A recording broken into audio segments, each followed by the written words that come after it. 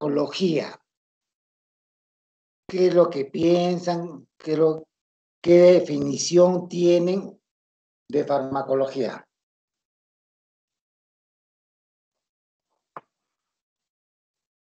A ver.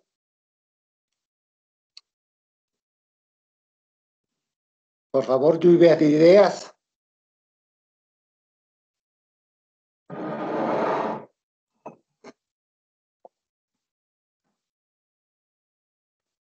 ¿Qué dicen doctores?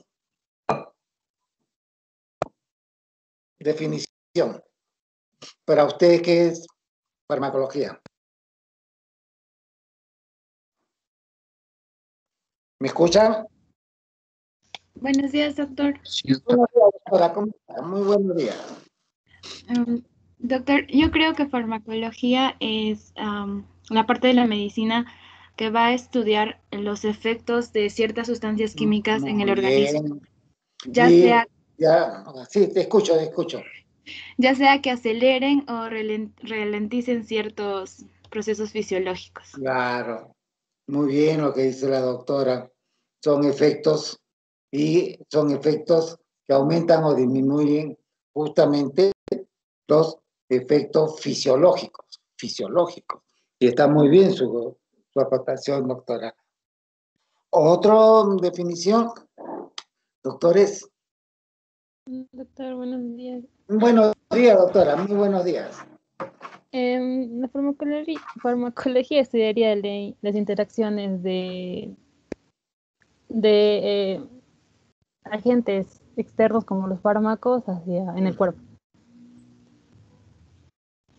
Si me escuchan comer, es que recién estoy tomando mi desayuno, doctor, porque tenía una emergencia y hasta ahora recién estoy sentándome a comer.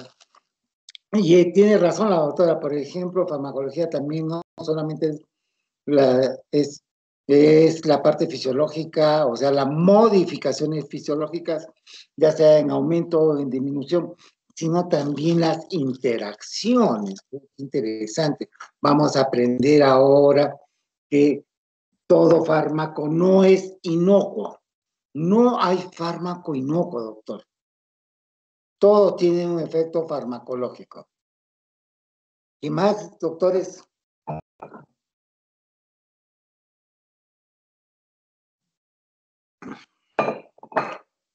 Otra.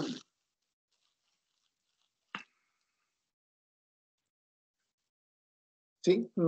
¿Se acabaron las ideas, doctores?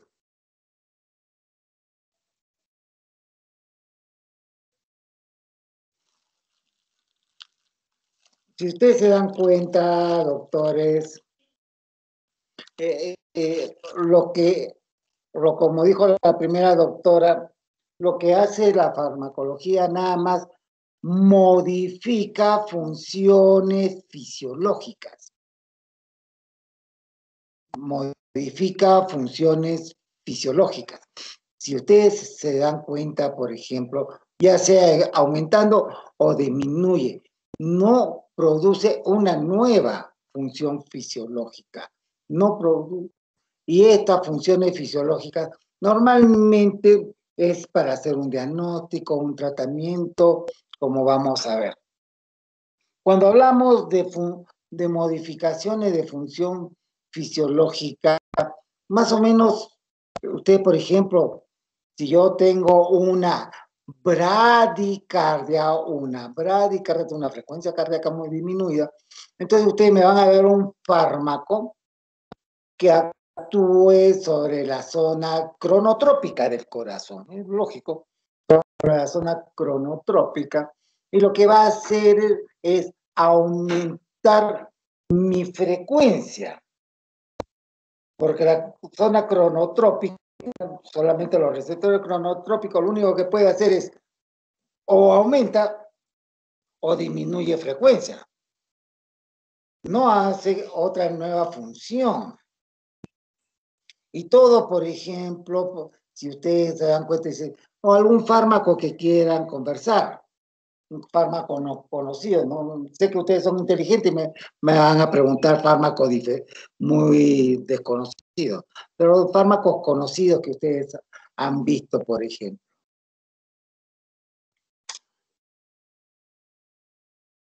O usan.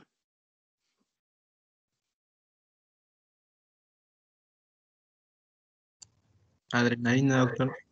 Muy bien. Usted, por ejemplo, doctor, la adrenalina que, en estos momentos usted eh, lo podemos vender, comprar adrenalina en la calle, pero nosotros también estamos produciendo adrenalina. Y lo, lo, produce la suprarrenal, casi el, el 80% de la adrenalina. Pero la adrenalina tiene muchos órganos porque hay muchos receptores en todos los órganos.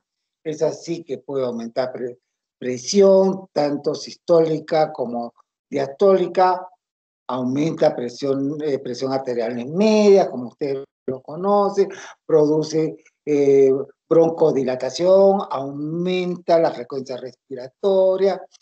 Y ustedes normalmente, si se dan cuenta, hay la adrenalina dependiendo del órgano, miren qué interesante lo que hablaba el doctor. Siempre pensamos que es un órgano excitador, ¿o no? ¿Qué dicen ustedes?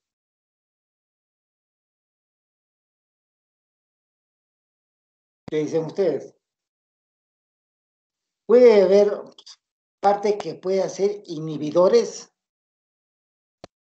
Por ejemplo, cuando ustedes liberan adrenalina, se ponen pálidos, o sea, están asustados, se ponen pálidos o se ponen rojos. ¿Qué dicen ustedes?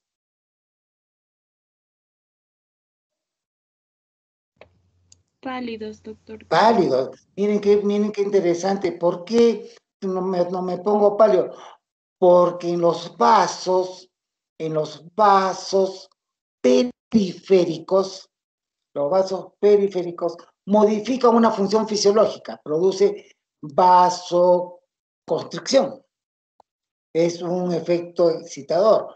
Pero en los vasos de los músculos, por ejemplo, porque yo voy a pelear, voy a correr, voy a patear, entonces necesito, por ejemplo, que haya más irrigación, necesito que llegue más oxígeno, necesito que llegue más glucosa. Entonces ahí los vasos se dilatan, efecto inhibitorio.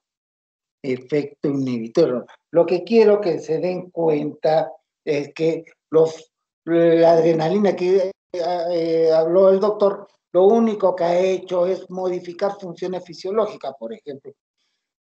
Ustedes cuando van a pelear, lo que va a hacer a mi pupila es producir midriasis, porque la pupila puede producirse o produce midriasis o miosis, no produce otra cosa. Pues, entonces la adrenalina produce midriasis por justamente contracción de los músculos radiales del iris, excitatorio. Entonces, para poder yo pelear. Si se dan cuenta, entonces el fármaco, lo único que está haciendo, modifica funciones fisiológicas. Y eso es lo que hace eh, los fármacos. Cuando actúa sobre un órgano, lo único que hace es lo modifica en aumentar o disminuir. No produce nuevas funciones. Y así usted podemos conversar muchos medicamentos, por ejemplo.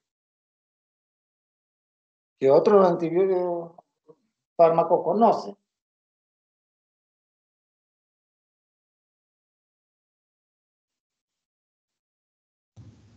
Atropina, doctor.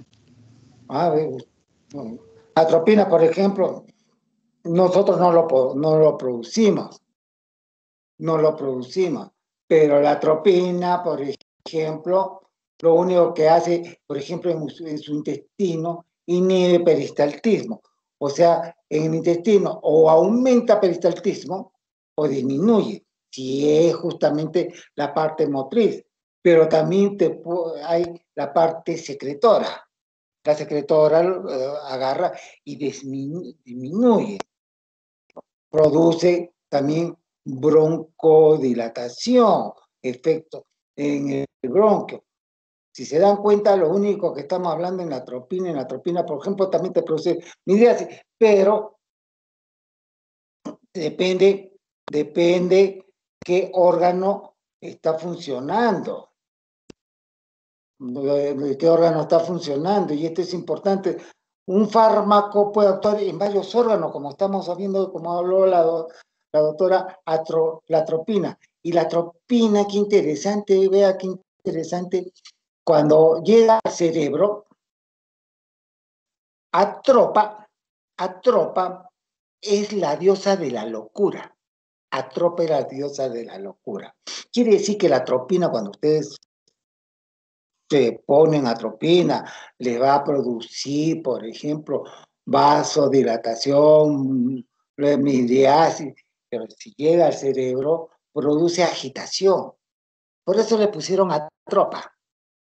Por eso le pusieron atropa. Entonces, si se dan cuenta, doctores, lo que quiero que piensen, es que los fármacos lo que único que hacen es modificar funciones fisiológicas y más o menos selectiva a qué se refiere.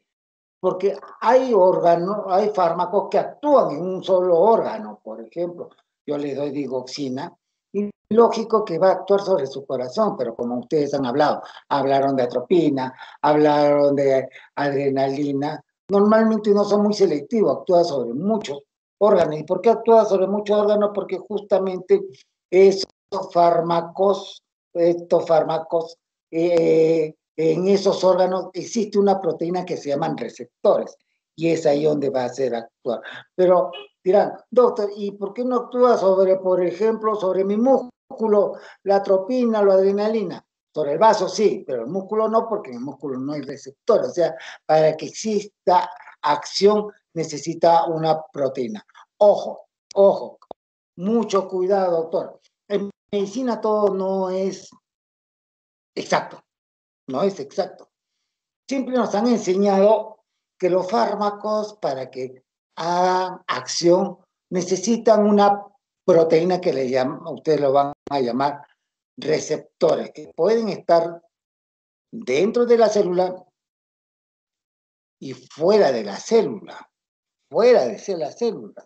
Es así, las enzimas, por ejemplo, muchas veces están fuera de, la célula y ahí va a ser acción. Entonces, pero hay fármacos, doctores, que para hacer acción no necesita receptores. Entonces, CASEP, doctores, CASEP. Los fármacos no es necesario que exista receptores para que exista una acción. ¿Estamos bien? Y, bueno, hablamos, por ejemplo, dice, nada más, si se, entiende, por ejemplo, cuando yo estoy con un cólico, estoy con un cólico, ¿ustedes qué toman, doctores? Eh, hay cólicos, el cólico, por ejemplo, normalmente ustedes saben que toda víscera hueca, la distensión o el aumento de las presiones intralumen, intralumen produce dolor. Entonces, ¿ustedes qué tomarían, doctores, para un cólico?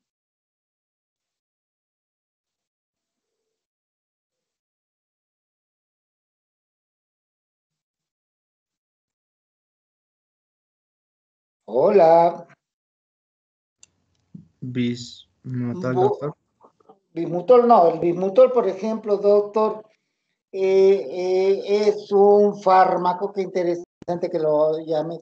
No es para los cólicos, es para la gastritis, doctor. El bismutol lo que hace es, es un fármaco, miren qué interesante ya que tú lo nombras, doctor. Es un fármaco que cuando uno tiene gastritis, agarra, tú lo tomas y hace una película protectora. Hace una ¿Por qué? Porque normalmente se coagula, se coagula. Y ese es un efecto físico, hasta ahí es un efecto físico, no, no es, y al coagular hace esa, esa película, esa película y no, el ácido clorhídrico no, no funciona o sea, no produce más noxa.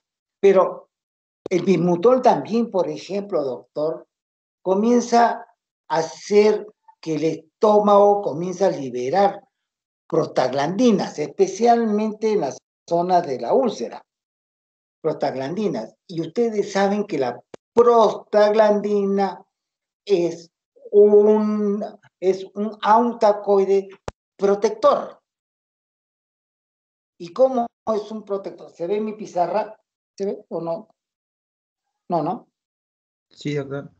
Autacoide xenobiótico, dice. Ah, no, mi pizarra, mi pizarra. Bien, no. para mí es mucha tecnología, yo no sé cómo lo voy a ver, pero ahorita llamo a mi sobrino para que, para que más o menos entienda que, por ejemplo, la prostaglandina es un protector gástrico.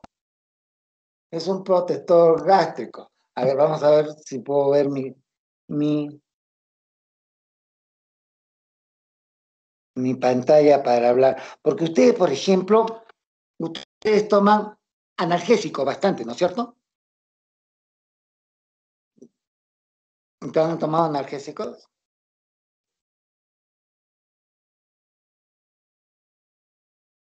¿Sí? ¿Toman ibuprofeno, naproxeno, esas cosas? ¿Lo han tomado? Sí, cuando hay gripe. Mira, eh, doctor, para la gripe casi no lo tomamos. Es, ¿no? Porque la gripe normalmente es, es interesante la farmacología, miren como has hablado, mire, en la gripe no tomamos, no tomamos casi analgésico porque es limitante, se limita la gripe. Lo damos nada más para, o como placebo, como placebo. Pero el paciente se siente mejor si le damos justamente estos tipos de... Espérate, sobrino, para ver si... ¿Qué es lo que pasa, por ejemplo, para que entiendan qué es lo que pasa cuando yo tomo, tengo un dolor? Tengo un dolor. Vamos a tomar un analgésico. Negrito, dime, ¿cómo, cómo hago para ¿Cómo hago para ¿Dónde tengo que? ¿Dónde tengo que? Acá. ¿Dice ahí? Dejar de compartir. Deja de compartir. Vienes acá y prendes tu cámara. Mi cámara. Y, y cuando vas a compartir, Entonces, y cuando vas a compartir, pones acá, de nuevo. ajá, acá, y compartir, y te vas a esta pantalla. Ya.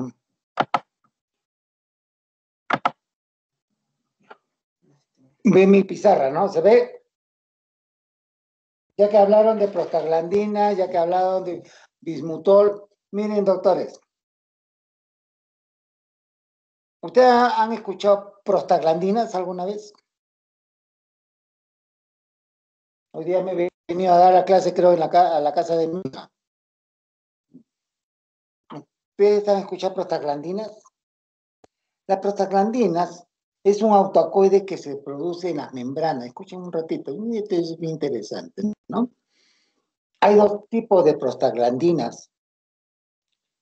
Las prostaglandinas que se liberan ante una noxa. Cuando yo hable de noxa, estoy refiriéndome a un dolor, a una fiebre, a una inflamación, ¿no? Y estas prostaglandinas son las que producen justamente todo lo que estamos hablando, porque ustedes saben que el dolor, la fiebre y la inflamación son signos no solamente de alarma, no solamente, sino de defensa. Muchas veces cuando nosotros tenemos fiebre, ustedes se preguntarán, ¿y ¿por qué, ¿por qué tengo fiebre?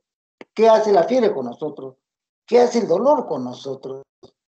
¿Qué, qué hace la inflamación con nosotros? Son, son justamente síntomas y signos de, alar- de, de protección. Pero las prostaglandinas, y eso lo produce las prostaglandinas normalmente inducidas, o sea, inducidas ante una noxa. Pero usted en estos momentos, doctores, la prostaglandina libera bastante membranas, en las membranas celulares, en las membranas celulares. Entonces, este, cabe que se divide una célula por desgracia, se libera prostaglandina, pero prostaglandina que nos protege. ¿Y cómo nos protege? Por ejemplo, escuchen bien, apúntenlo esto. La prostaglandina, por ejemplo, que se libera bastante en el estómago, en el estómago, produce en el estómago un ratito, un ratito voy a buscar se ve ahí.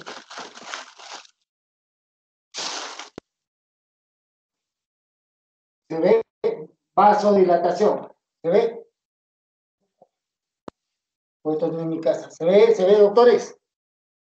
Sí, doctor, sí se observa. Mire, la prostaglandina que en estos momentos ustedes están está produciendo, produce vasodilatación, aumenta de lo que es el factor de crecimiento celular, disminuye lo que es el factor de necrosis tumoral, por ejemplo, produce menos liberación de ácido clorhídrico, bastante bicarbonato. Todo esto es en el estómago, en el estómago, la prostaglandina. O sea, se imagina si no tenemos nosotros prostaglandinas, ¿se han preguntado cuánto es el pH del ácido clorhídrico? ¿Se han preguntado, doctores? Mm, dos, doctor. Doctor, disculpe, este, no sé si es cuestión de internet, pero no se está observando lo que escribe en la pizarra.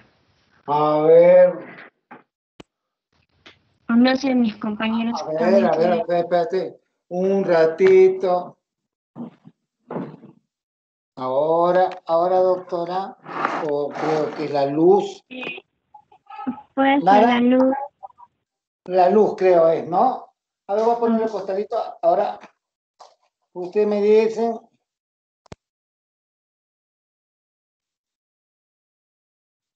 Como no estoy en mi casa. ¿No se nota? Mm, No, doctor, creo que es un poquito más adelante y a la izquierda, creo. A ver, doctora. Pues se caería. Creo que no. Así. ¿Y ahí? Sí, doctor, ahora creo que estoy un poco mejor porque está más cerca de la pantalla. No, no, pero Sí. ahí. Un libro ponemos acá. Miren, en estos momentos, doctores, voy a tomar una aspirina, ibuprofeno, naproxeno. Este estos fármacos inhiben a las prostaglandinas, pero inhiben a las prostaglandinas que son inducidas para producir fiebre, producir inflamación, producir dolor. Pero por desgracia, nosotros también producimos prosta- prostaglandina en forma normal, como dijo el doctor. Lo, lo producimos en el estómago bastante porque eh, el pH pues es de 1 punto y tanto, 1.5. Y ustedes se imaginan cuánto es 1.5. ¿Por qué no nos perforamos? Porque el pH es bastante.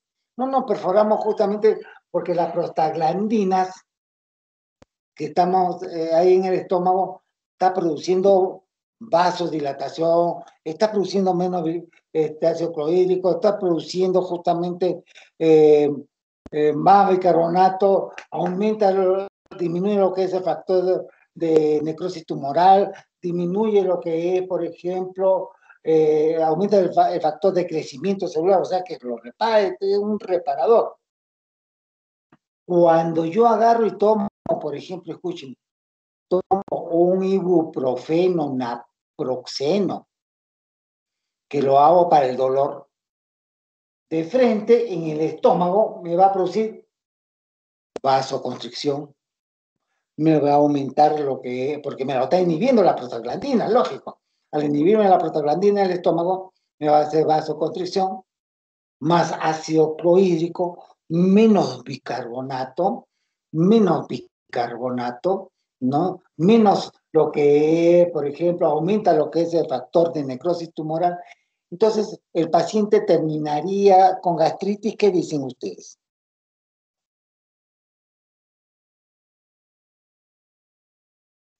Mm, Sí, doctor, probablemente. Claro, porque estamos sin, porque los fármacos, por desgracia, doctores, los fármacos no solamente no, no van a un órgano, van a varios órganos donde existen esos receptores. Por eso que he puesto ahí, dice, los fármacos van a actuar en forma más o menos selectiva. Entonces, ya sabemos que produce gastritis, va a producir hemorragia porque hay vasoconstricción, hay gastritis porque hay aumento de ácido clorhídrico. ¿Y qué pasa, por ejemplo, en estos momentos, ustedes que son jóvenes? La prostaglandina que ustedes tienen, por ejemplo, doctores, la prostaglandinas, está produciendo en su riñón, por ejemplo, vasodilatación. Vasodilatación en su riñón. Como hay, vas, hay vasodilatación en su riñón, o sea, hay aumento de flujo renal. Y por ende, ustedes tienen diuresis. Tienen diuresis. Es uno de los factores para, la prostaglandina también para, orinar. Esto es lo que hace, por ejemplo, la prostaglandina que nosotros producimos en forma normal. ¿Qué pasaría si yo tomo una, un, analgésico? Al lugar de, ver vasodilatación renal y aumentar el flujo renal, habría vasoconstricción renal y disminuiría el flujo renal y puede llevar hasta la necrosis. Entonces, hay alteraciones renales con el ibuprofeno. Miren, o ibuprofeno, naproxeno. En estos momentos, por ejemplo, ¿ustedes son más vasos dilatados o más vasos contraídos? ¿Qué me dicen, doctores?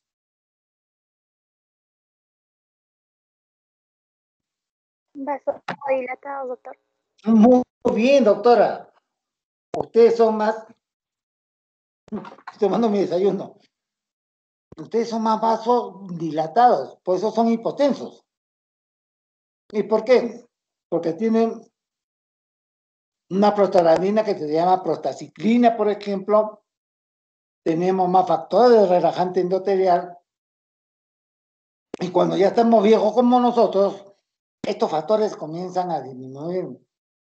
Esta prostaciclina, que es un vasodilatador, se convierte como un vaso de constrictor. Por eso soy hipertenso, somos hipertensos los viejos. Entonces, va a haber, normalmente son, produce vasodilatación en forma normal. Entonces, cuando ustedes toman un, ibuprofeno, naproxeno, mm, aspirina, hemos dicho que estos fármacos modifican funciones fisiológicas, pero va a actuar en forma más o menos selectiva. O sea, en el riñón, me va, en el estómago me va a producir gastritis, hemorragias y úlceras. En el, en el riñón me va a producir vasoconstricción, me va a producir necrosis renal. En los vasos me va a producir aumento de presiones arteriales, presiones arteriales, hasta un 15%. En ustedes no habría problema un 15% porque son jóvenes, pero un, un viejito no tolera 20, eh, un 15 o 20% sobre su basal que tiene, sobre una hipertensión. Entonces, hay que tener mucho cuidado. Y esto es importante, si se dan cuenta, vean, cuando hemos hablado de los fármacos, de los fármacos, entonces el fármaco lo único que ha hecho es modificar funciones fisiológicas, más o menos selectivas, sí, no solamente va a actuar en un órgano, va a actuar en varios órganos. ¿Y por qué va a actuar en varios órganos? Porque justamente esos órganos tienen esos, esas proteínas que se llaman receptores y ahí va a ser acción, va a ser acción. Entonces, a eso se llama más o menos selectivo. Y lo que dijo el doctor, cuando tomamos bismuto, yo tomo el bismuto que hablaba el doctor, ¿por qué? Porque se pega, ¿no? Se pega a la, a la mucosa a la mucosa, produciendo un coágulo, pero a la vez produce liberación de prostaglandinas en el estómago. Entonces el bismuto tiene dos acciones, una acción química nada más, si no, no, necesito receptores, y, y la otra sí necesito receptor, o sea, es, es bifásico, o sea, estimula la liberación de prostaglandina. ¿Y para qué? Para que disminuya la liberación de ácido clorhídrico y más bicarbonato, y así calma la gastritis. Entonces, si se dan cuenta, doctores, escuchen, todos los fármacos que ustedes van a usar, siempre van a, usar, van a actuar sobre varios órganos, doctores. Mucho cuidado, eso es importante que lo sepan ustedes. Y no solamente sobre varios órganos, sino dependiendo la edad que vamos, que va a tener el paciente, hay órganos que están inmaduros, otros que están por la misma edad ya están avejentados y vamos a tener más efectos colaterales. Entonces, eso es importante saberlo. saberlo. De igual modo, habíamos dicho que son más o menos selectivas de las actividades fisiológicas y que son sustancias químicas. Claro, todos los fármacos son sustancias químicas, eso es verdad. Y normalmente, escuchen, nosotros también producimos fármacos, nosotros producimos fármacos. Es así que nosotros tenemos, se les llama autacoides a los fármacos que nosotros producimos y xenobióticos, que son los fármacos que ustedes lo compran en las boticas, en la farmacia. ¿Qué fármaco producimos, por ejemplo? ¿Producimos antibióticos? Sí, producimos antibióticos también. Porque se imagina en el intestino tenemos no solamente saprófitos, sino también muchas gérmenes patológicos, pero no nos, no nos infectamos porque justamente tenemos barreras de antibióticos producidos por nuestro organismo. O producimos analgésicos también, doctor, y ustedes se deben haber dado cuenta cuando juegan fútbol, por ejemplo. Agarras y te patean, por ejemplo, te patean. En ese momento no te duele. Nunca se han dado cuenta o, estás jugando boli y no te duele. Pero pasa el efecto, pasa el efecto de, de estos analgésicos, estos analgésicos que nosotros estamos produciendo y nos duele. ¿Ustedes nunca se han dado cuenta?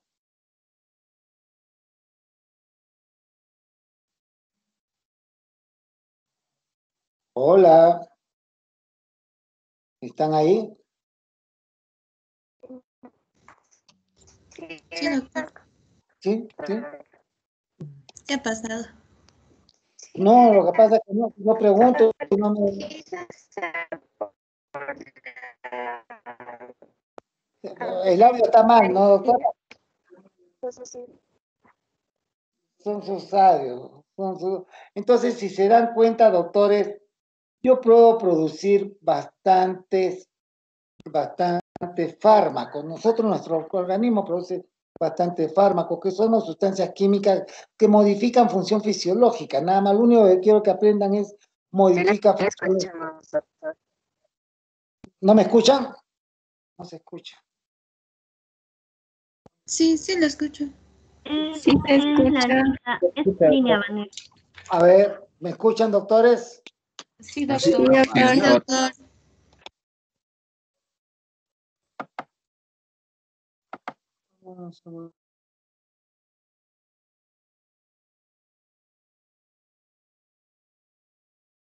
Sí,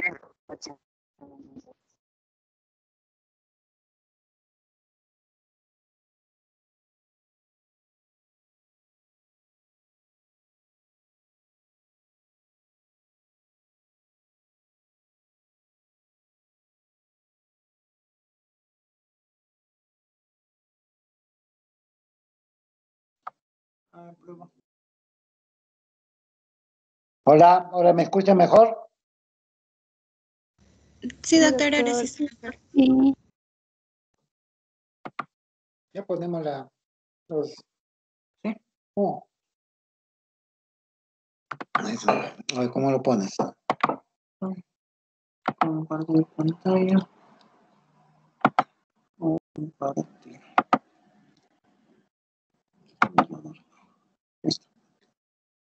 Normalmente, doctores, hemos dicho que nosotros hay, hay este, nosotros producimos fármacos. Y estos fármacos, lo único que quiero que aprendan es modifican funciones fisiológicas, como dijo la primera doctora que, que habló. ¿Qué fármacos tenemos nosotros? ¿Qué fármacos producimos?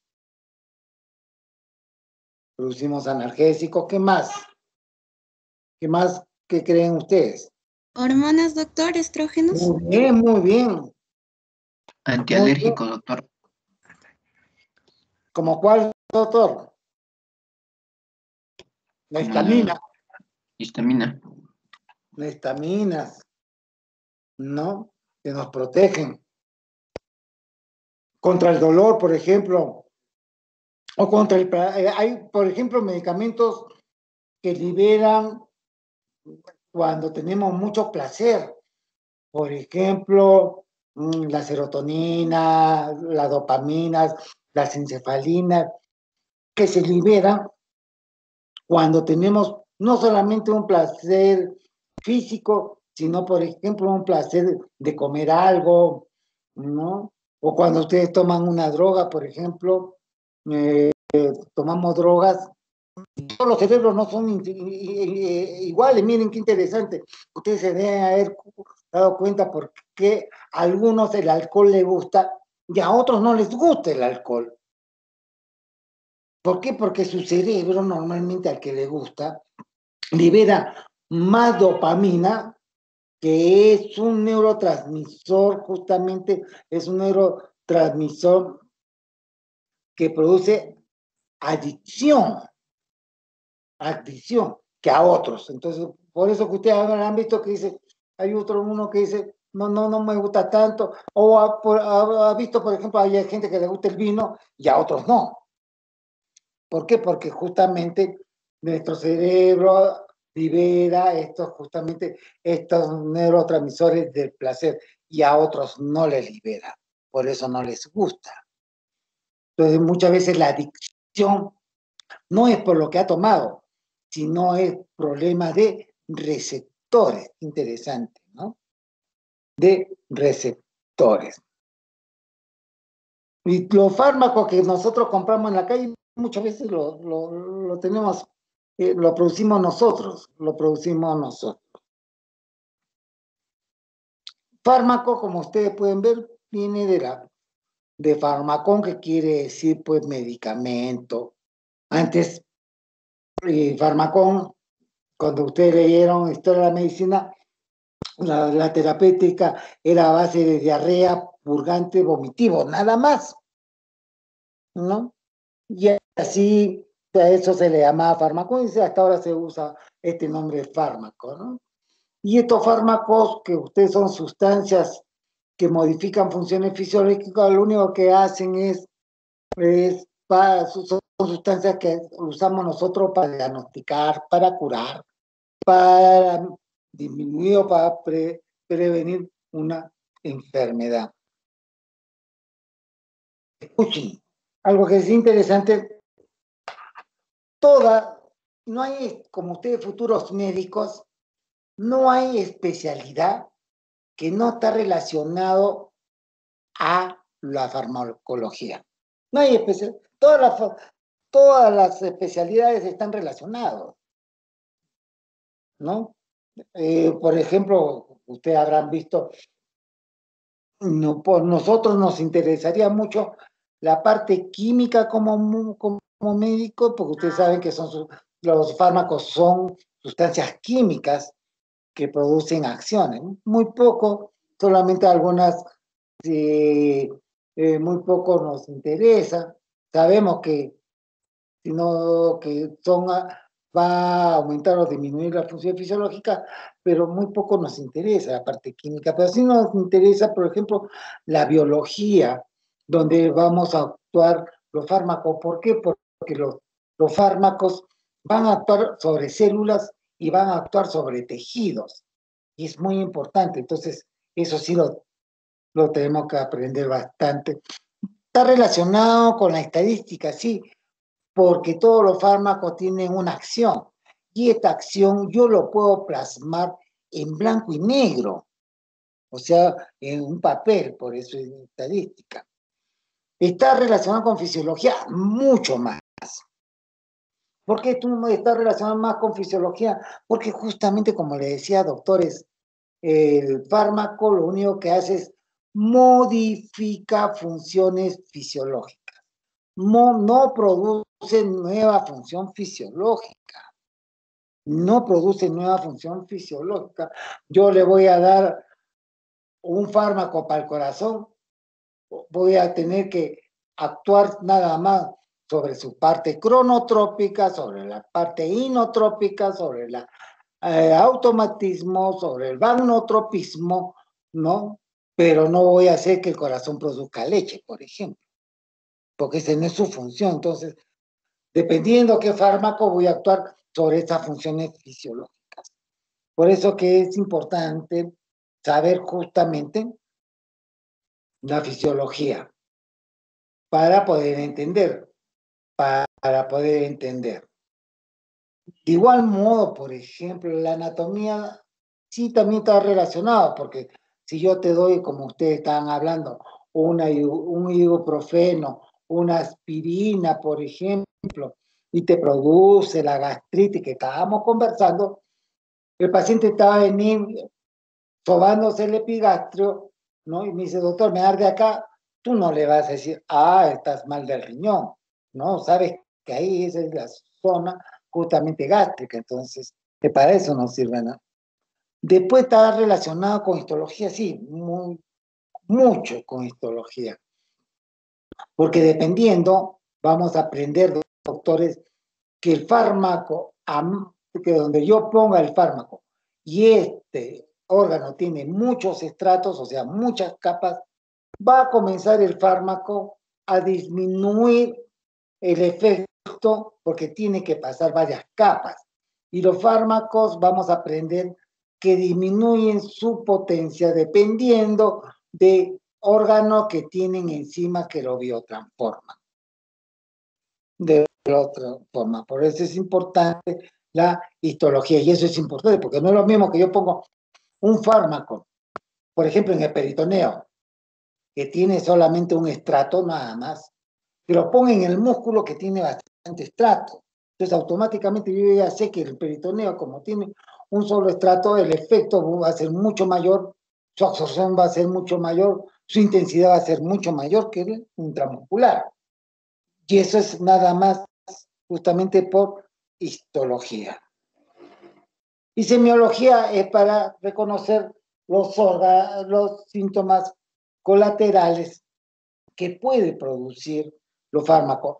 CASEP, CASEP. No hay órgano inocuo. No, perdón, no hay fármaco inocuo. Todos los fármacos tienen un efecto colateral. Todos tienen efectos colaterales. ¿Ustedes creen que puede haber un fármaco inocuo? ¿Cuál creen? O sea, que no tenga tanto efecto dado todas las vitaminas, es lo más lógico, ¿no? Pero acuérdate, acuérdate que hay vitaminas liposolubles y que se depositan justamente en el riñón produciendo lo que es hígado graso. Entonces hay que tener mucho cuidado. ¿Algún un fármaco inocuo que ustedes crean? ¿Cuál creen, doctores?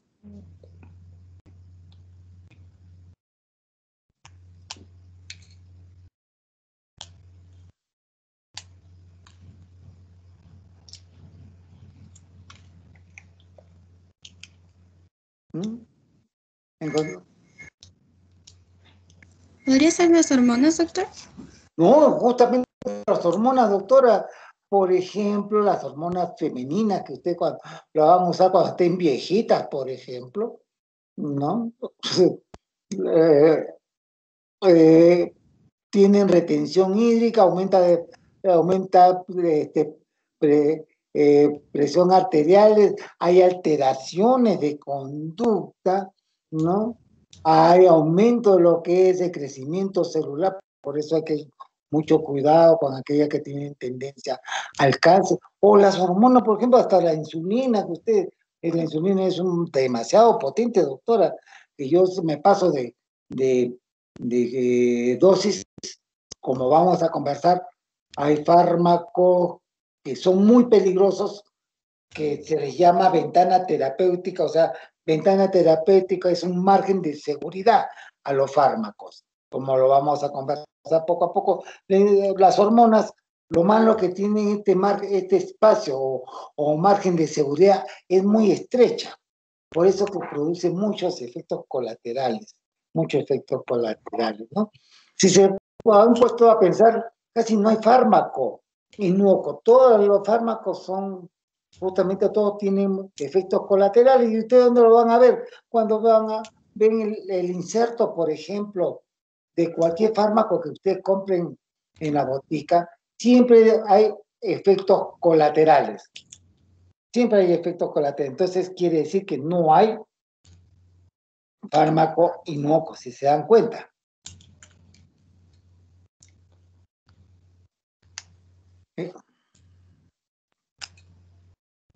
Después, otra cosa que quería que aprendan es, y todos los fármacos tienen efectos, tienen efectos iguales.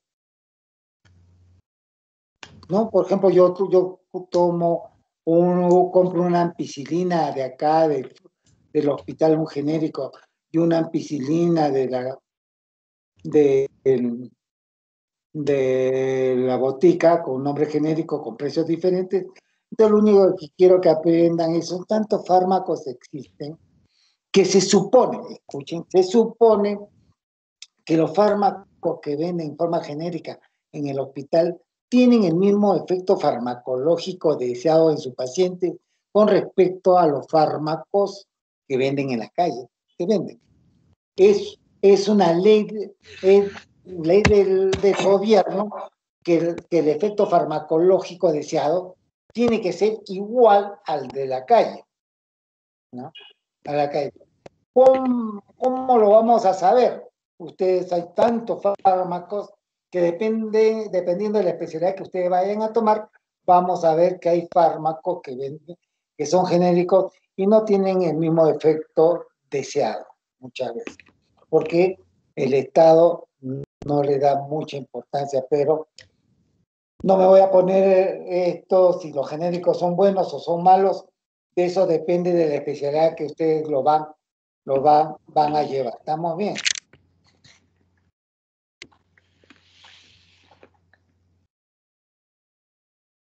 ¿Qué es lo que nos interesa bastante, doctores, como futuros médicos? Esta es lo que ustedes están viendo es la, la subdivisión de la farmacología a su división.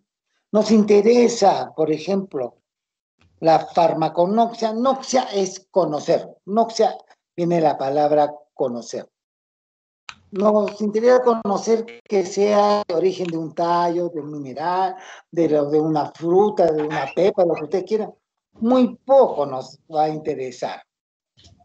Nos interesa la farmacotecnia, Sí nos interesa la farmacotecnia, porque ustedes habrán visto, doctores, que hay fármacos que vienen en ampollitas transparentes, hay otras que vienen en ampollitas vidrio ámbar, oscurito.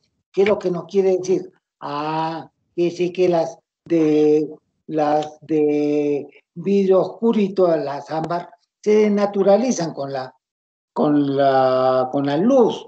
O muchas veces ustedes van, ustedes habrán visto pastillas, han, abierto un frasco de pastilla y adentro, de, adentro del frasco ven como una almohadita. ¿Lo han visto alguna vez?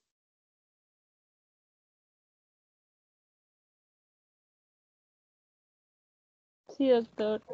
Y miren, dirán, ¿y para qué sirve esa almohadita? Normalmente hay fármacos que atraen muchos, mucha humedad, traen mucha humedad. Entonces, si yo abro, por ejemplo, en Lima hay más humedad que acá, es lógico, esos fármacos lo abro en Lima y lo dejo a la intemperie, al día, a los dos días, esas pastillas están como aguachentas, están un poco más, más blanditas, ¿Por qué? Porque han traído agua y justamente lo que traen ese silicio, que es esas almohaditas, es justamente para inhibir justamente esta polaridad, esta polaridad de estos fármacos, ¿no? De estos fármacos. O van a ver muchas veces, si nos interesa saberlo, para no cometer errores, o, vamos, que nos interesa también muchas veces, le van cuando ustedes sean jefe de, eh, de un establecimiento, siempre le van a traer medicamentos que dice, doctor, estos medicamentos tienen que estar en cadena fría. Entonces eso no quiere decir que lo metas a la congeladora, pues, ni que lo tengas afuera de, de la refrigeradora, sabes dónde tienes que ponerlo, tienes que ponerlo en la puerta, no para estar frío, pero no congelados. Y entonces son, son cosas que uno lo tiene que aprender poco a poco, esta farmacotecnia. Que sí nos interesa bastante la farmacocinética. La farmacocinética. Y la farmacocinética nada más son las modificaciones que tiene el fármaco dentro del organismo. En un momento he hablado qué es lo que hace el fármaco al organismo, sino las modificaciones, cómo se disgrega, cómo se suló, cómo se hace en solución, cómo se absorbe, cómo se distribuye, cómo se biotransforma y cómo se excreta. Eso es la farmacocinética. ¿Por qué nos interesa bastante eso, por ejemplo, doctores? Eso sí, ¿por qué? Porque no es lo mismo un mismo fármaco, a, mismo, al mismo que, a misma dosificación por kilo de peso, no es lo mismo en un niño, en un recién nacido, en una mujer gestante y en un viejito. Varía completamente bastante completamente. Por eso sí nos interesa. Y cuando hablamos de farmacodinamia, sí nos interesa, por ejemplo, porque la farmacodinamia son las modificaciones que hace el fármaco al organismo. O sea, ya estamos hablando de acción. igualito, un fármaco no va a tener la misma acción en un, en un paciente sano, enfermo, viejito, gestante, niñito. Todos son diferentes o con patologías agregadas. Eso sí nos interesa. La farmacoquímica muy poco nos vamos a, saber porque hay farmacológico desde el punto de vista nada más como cultura, sabe que hay fármaco de que dependiendo si yo giro la parte eh, racémica del, el fármaco, voy a tener un efecto más. Y eso lo, hacen los laboratorios. Nos interesa lo que es la, la, genética, la farmacogenética, sí. ¿Por qué? Porque normalmente muchos de los fármacos que vamos a usar tienen alteraciones genéticas. Hay malformaciones y eso sí lo tenemos que saber. Entonces, si se dan cuenta, no todo lo vamos a aprender. Entonces, es lo que ya hemos hablado. Y lo importante es que sepamos cuándo vamos a poner justamente un fármaco. No es lo mismo en una paciente no gestante que en una gestante. Y en una gestante normalmente saber en qué momento vamos a poner un fármaco. Hay fármacos que alteran justamente la parte de crecimiento del feto. Y eso lo tenemos que aprender sí o sí. Y acá como ven, por ejemplo, es una focomelia, una focomelia parece foco porque parecían, este, parecían unas foquitas. Normalmente antes, antes de la Segunda Guerra Mundial, muy poco tomaban estos antidepresivos las mujeres, pero cuando se fueron todos los soldados a la guerra, mucha, hubo mucha depresión, comenzaron a tomar estos fármacos. Y entonces hubo mucho más casos de focomelia. Comenzaron a tomar la talidomina, que justamente era para esta depresión, y comenzaron a nacer muchos de estos niños. Y recién vamos, entonces ya vemos, doctores, que la farmacología lo único que hace modifica funciones fisiológicas. ¿Estamos bien? Funciona. Dos minutos para descansar. Dos minutos.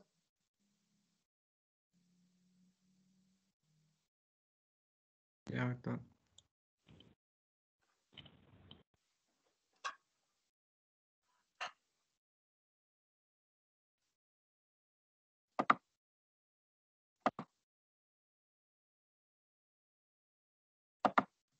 ¿Qué están haciendo allá? Arriba, chicos. Eh, Lenny, Luciana, se fue a la natación. ¿Eh? Mientras uno está trabajando. Mañana, ¿a qué hora vas a tener este? No sé, hijo, radio? Escuché decir que era en la mañana, lunes, miércoles.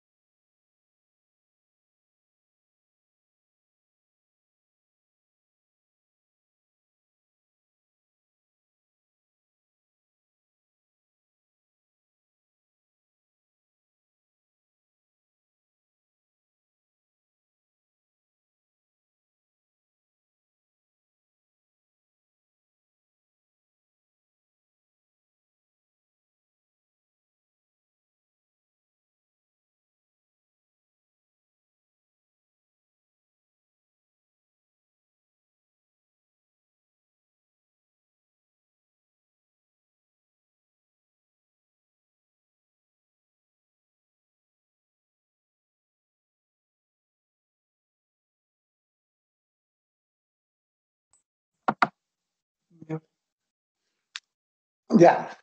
Entonces, ahora lo que hace, eh, que va- vamos a aprender la preabsorción. Cuando hablamos de preabsorción, ¿a qué nos estamos refiriendo, doctores?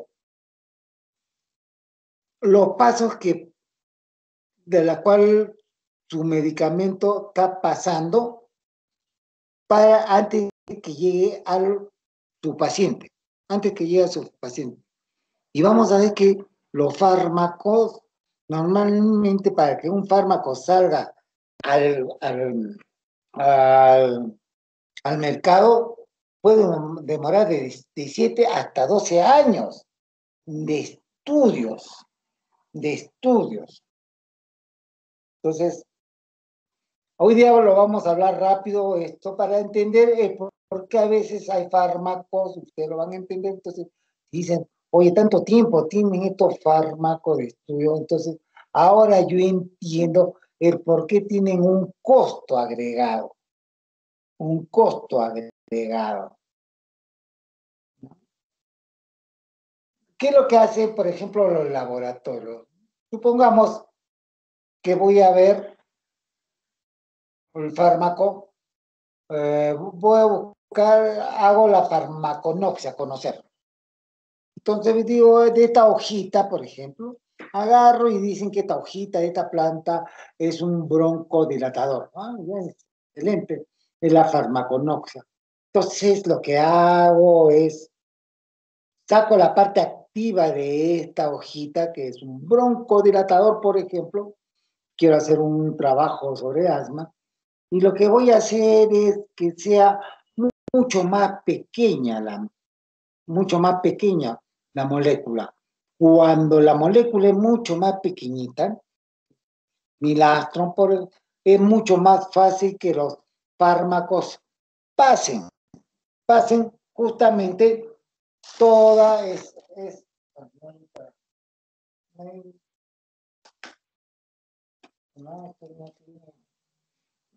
cuando es mucho más pequeña, acá, está. Es, acá está. Lo que hace el fármaco se puede, puede pasar membrana con facilidad. Y cuando no solamente pasar membrana, sino justamente es llegar a absorberse con facilidad. Y eso es lo que busca eh, el aspecto molecular, o sea, las moléculas pequeñas. Y dirán, y doctor, ¿y qué pasaría si fuese una molécula grande. Un poquito de imaginación, imagínense, nada más. Bueno, poco acá nomás. Ya, ya, ¿Cómo es? A ver. Un ratito, doctor, voy a poner mi... El azulito. Ajá. A tu pantalla. Acá. Ajá. Y la cámara. La cámara, la cámara.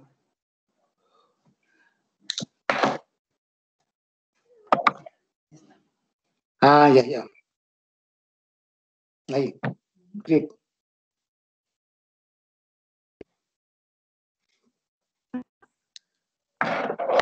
Miren, doctores, ¿qué pasaría si la molécula fuese grande? Escuchen, escuchen un ratito que esto es importante. El fármaco, cuando está en el organismo, ya sea activo, ya sea metabolitos o ya sea primeros metabolitos, todavía tiene efecto farmacológico. Cuando un fármaco deja de hacer efecto, cuando está fuera del organismo. Quiere decir que el fármaco, por más metabolito que sea, tiene actividad farmacológica. Entonces, ese es el caso que quiero que aprendan. ¿Qué pasaría si la molécula del fármaco, la molécula, una molécula fuese grande? Entonces, lógico, si es una molécula grande, entonces lo que va a hacer la célula es encapsularlo. Como es al encapsularlo, entonces es mucho más difícil biotransformarlo. Biotransformarlo. Entonces, el fármaco va a estar haciendo efecto a cada momento. Entonces, los laboratorios, para que sea manipulable este efecto, lo que hacen que la molécula sea pequeñita y como anda pequeñita, se puede biotransformar tan fácil, fácilmente. Eso es lo que hace los laboratorios. De igual modo, ¿qué más le interesa al laboratorio? No solamente la, que sea muy pequeña, sino que tiene que tener un porcentaje de hidrosolubilidad y liposolubilidad. Porque si ustedes se acuerdan, siempre las células nos dibujaron así. Nos dibujaron así. Pero ustedes se acuerdan, por ejemplo, La célula más grande que conocen, ¿cuál es?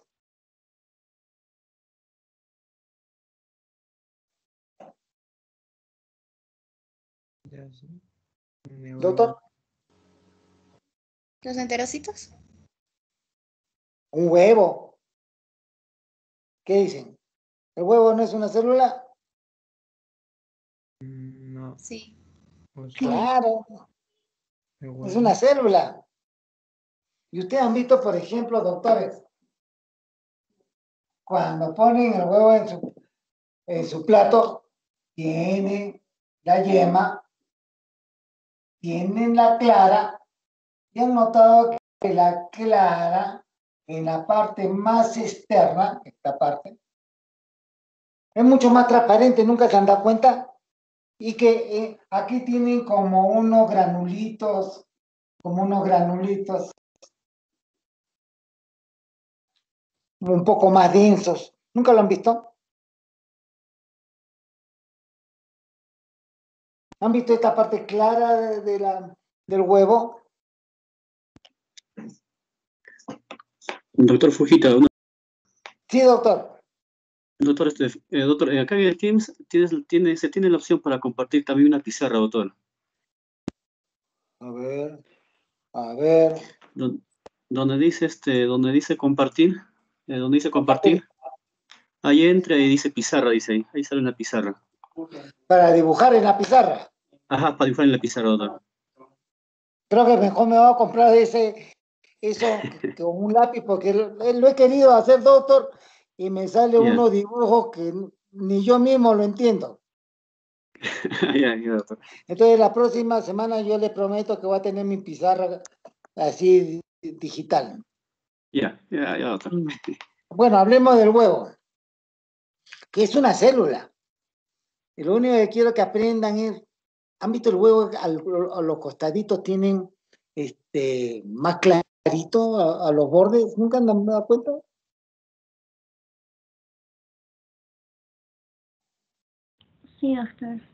¿Nunca se han dado cuenta? Y que tiene unos grumos en la parte cerca de la yema. Esos grumos son los órganos, son justamente las organelas. Pero lo que quiero que aprendan es, así como es el huevo, así son todas las células. Quiere decir que hay, una, hay partes mu- mucho más densas y hay partes mucho más claras. Esa parte clara que estoy apuntando, esa parte clara, por ejemplo, es el ectoplasma. Ectoplasma. Este ectoplasma, ¿por qué es tan importante? Porque es claro, porque tiene mayor cantidad de agua. Mayor cantidad de agua. Entonces, y a esta parte se le llama justamente citoplasma figurado. Vamos a hacer nuestros, nuestros, eh, nuestras células, nuestras células, núcleo, y van a hablar normalmente la célula, entonces, tiene un ectoplasma. Acá hay mayor cantidad de agua, mayor concentración de agua, mayor concentración de agua. Escuchen un rato. En su libro ustedes siempre van a decir, el fármaco siempre se diluye donde hay agua, siempre se diluye donde hay agua. Quiere decir que normalmente yo pongo el fármaco acá y el fármaco tiene que pasar a esta célula. ¿Y a dónde va a tener que pasar? Para distribuirse tiene que pasar a un vaso. Tiene que pasar a un vaso. Entonces, el fármaco va a tener que llegar lo más cerca a la membrana y la membrana, escuchen doctores, hay membranas que atraen agua, que atraen agua, por eso que son membranas polares, polar, entonces acá siempre hay una capa de agua, pasa la membrana lipídica y el fármaco posteriormente se distribuye por donde hay mayor cantidad de agua para llegar al vaso. Y eso es lo que hace los fármacos para pasar unas membranas. Por eso que los laboratorios lo que tienen que buscar es cuánto porcentaje de hidrosolubilidad, o sea, cuánto se diluye en agua y cuánto es el porcentaje de liposolubilidad para pasar las membranas. Entonces, normalmente los fármacos tienen que tener un porcentaje de hidrosolubilidad para llegar a esta zona que se le llama biofase, biofase, que está lleno de agua, tiene que tener un porcentaje de liposolubilidad para pasar los lípidos de la membrana y de nuevo sulfea prácticamente el fármaco por donde hay agua. Dirán, y doctor, ¿por qué no pasa el fármaco por acá?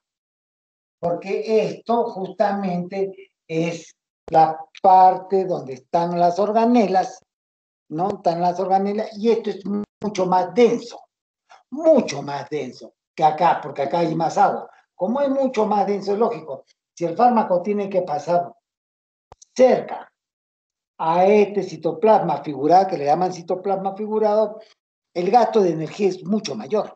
Entonces, lo que hace la naturaleza es, si el fármaco tiene que pasar un tejido, siempre tratando de, de eh, no usar mucha energía, mucha energía. Y eso es lo que hacen los laboratorios. Hacen que cuánto es el porcentaje de hidrosolubilidad, cuánto es el porcentaje de liposolubilidad. Mucho cuidado, escuchen. Mucho. No hay fármaco netamente hidrosoluble, netamente liposoluble. No. Siempre tienen que tener los dos. Pero si predomina uno, por ejemplo, si el fármaco tiene más posibilidad de ser liposoluble, le va a llamar liposoluble, pero siempre tiene un porcentaje también de hidrosolubilidad. Entonces, liposoluble es para pasar la membrana y hidrosoluble para pasar por donde hay agua. Y esto es importante, esto es importante, escuchen, porque cuando ustedes vayan a leer su libro, siempre va a decir, en el libro le va a decir, el fármaco se distribuye en el 60% del organismo. 60%, ah, ya, 60% donde hay agua. Ahí es donde se distribuye, donde se distribuye. Pero el fármaco siempre se va a distribuir siempre donde hay agua. Para llegar al cito Diana, al cito Diana, o sea, donde va a tener acción. Eso es importante que lo sepan.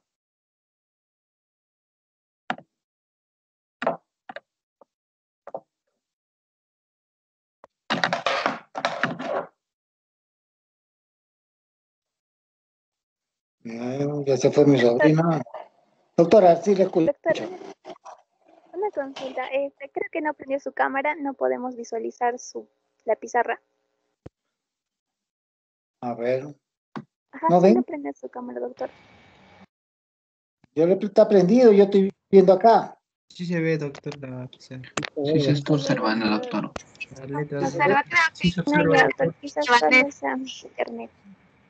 No, es tu red, Es tu red, Vanessa. Ay, aquí Creo que...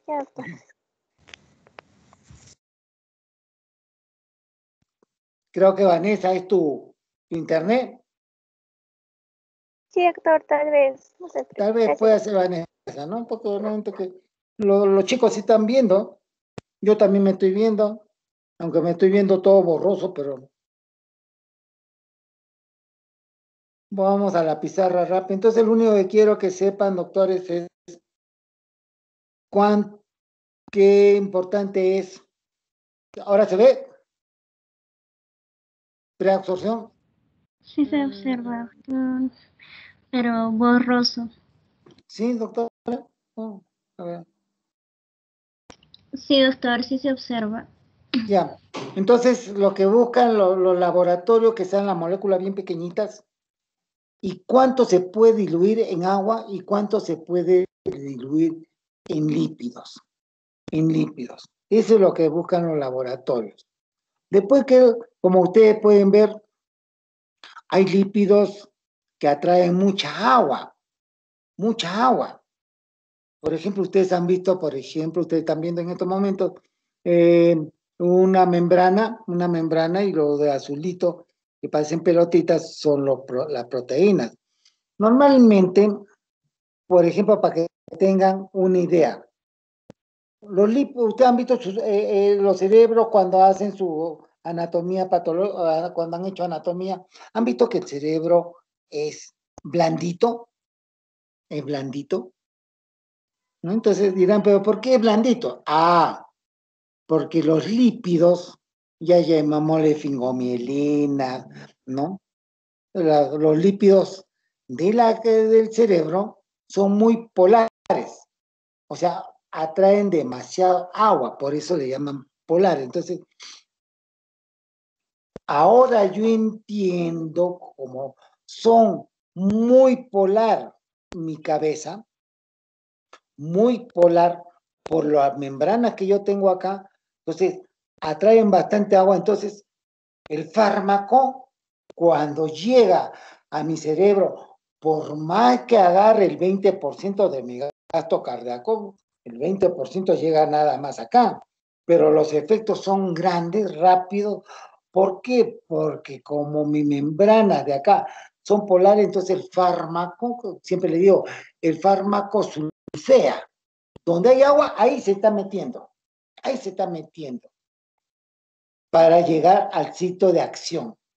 Entonces, en cambio, por ejemplo, ¿dónde no puede surfear bastante? En los sitios donde no son polares, por ejemplo, las, las, las células, la membrana de mis músculos tiene más triglicéridos, por ejemplo, son, son membranas no polares, entonces el fármaco le cuesta llegar a la célula con más dificultad. Entonces, lo que quiero que aprendan, lo que quiero que aprendan, doctores, es que las, los, fármacos van a actuar mejor en un, órgano cuyas membranas atraigan agua, como cuál, aquellas que son polares. ¿Y cuáles son polares? Acuérdense, polar una cerveza, pues, polar.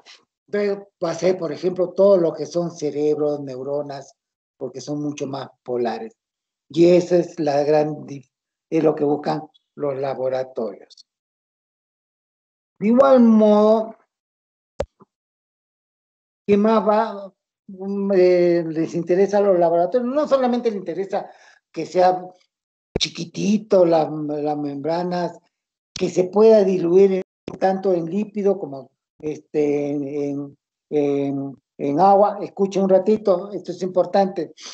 Cuando ustedes vayan a leer su libro, ustedes le van a decir, este fármaco es, es liposoluble. Escuchen un ratito, doctor, escuchen un ratito, esto es importante. Cuando lean liposoluble o hidrosoluble, el 100% no es hidrosoluble, es liposoluble. Siempre tiene que tener un porcentaje, un porcentaje de hidrosolubilidad y un porcentaje de liposolubilidad. Si tiene un poquito más de liposolubilidad, entonces este, este fármaco es, liposoluble. Si tiene un, un porcentaje más chico, un poquito mayor de hidrosoluble, entonces este fármaco es hidrosoluble. Más o menos para que entiendan.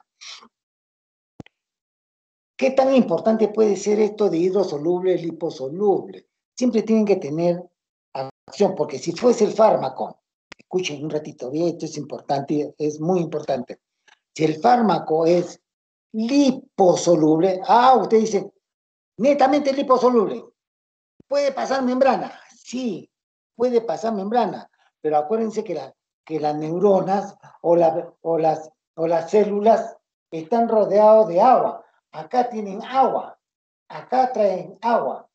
Si el fármaco es muy liposoluble, no puede pasar la capa de agua. No puede pasar y no habría acción. Y si el fármaco fuese hidrosoluble puro, se diluye en el agua de acá pero no puede pasar la membrana porque la membrana es lípido. Entonces siempre tiene que tener los dos. Tiene que siempre tener los dos. Cassette. Los fármacos que son liposolubles siempre van a, vamos a tener un porcentaje de hidrosolubilidad. Son aquellos fármacos que pasan las membranas con mucha facilidad. Llamémosle la membrana de acá, placentaria, prostática, oftalmológica, pero pasan las membranas con facilidad. Las, que son hidrosolubles son las que le cuesta pasar las membranas con facilidad, pero están diluidos en agua. Ejemplo, los antibióticos tienen que estar diluidos en el plasma hidrosoluble para poder llegar al sitio de acción, al sitio de acción. Entonces ahora yo entiendo por qué los que son depresores, los que van a hacer acción en mi cabeza, son más liposolubles. Y aquellos que tengo que estar cuidando todo mi organismo y con el, con el plasma dando vuelta como unos guardianes, son más hidrosolubles, como los antibióticos, por ejemplo. Como los antibióticos.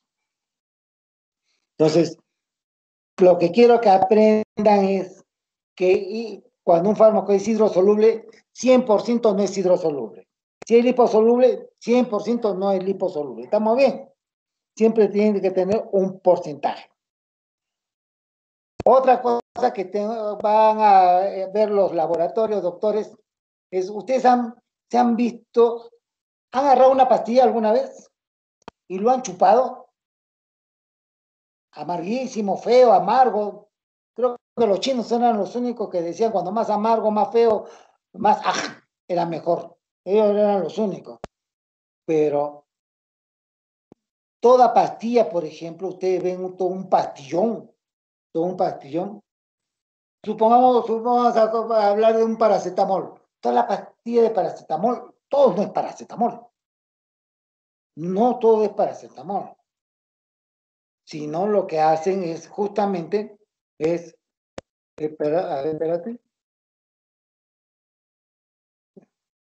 No todo es paracetamol, sino lo es, es una parte es el paracetamol y otra parte justamente es lo que se le llama ya sea excipiente o base dependiendo que es la parte activa y y es la que le va a dar el sabor y el cambio de pH.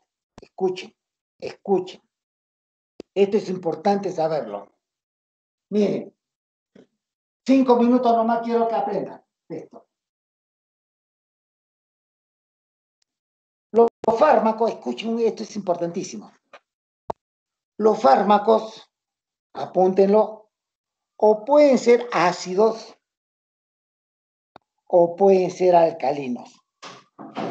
Pueden ser ácidos o alcalinos débiles, débiles, débiles.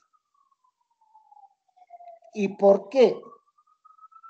Imagínense que este es mi fármaco, que sea como un racimo, como un racimo, este fármaco no puede pasar la membrana, es, más difícil, más, difícil.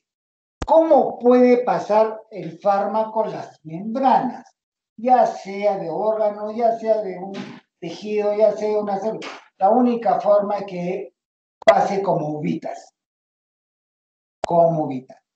Sí, sí puede pasar. A esto se le llama no iónico. No iónico. Y a esto se le llama iónico. Iónico, o sea, lo que quiero que aprendan que los fármacos pasan como iónicos. Como no iónico no pasa. Escuchen, esto es importante. Casé, doctores, casé.